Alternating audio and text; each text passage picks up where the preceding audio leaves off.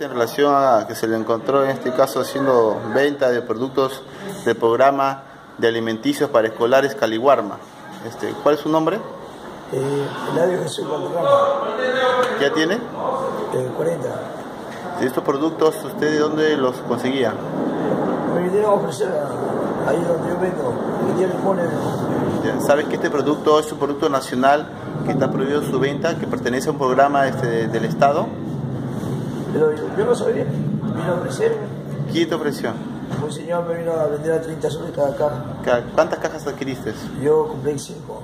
¿Cinco cajas? Sí. Ya, y no sabes el señor, no lo conoces. No, no, no. ¿Y a cuánto, ¿Y a cuánto lo estabas vendiendo acá este caso en A base? sol, porque vi a 48 unidades.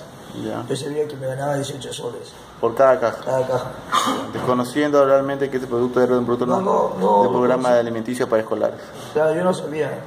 Este, ¿Tiene antecedentes policiales, penales, judiciales? Tranquilo. Ok.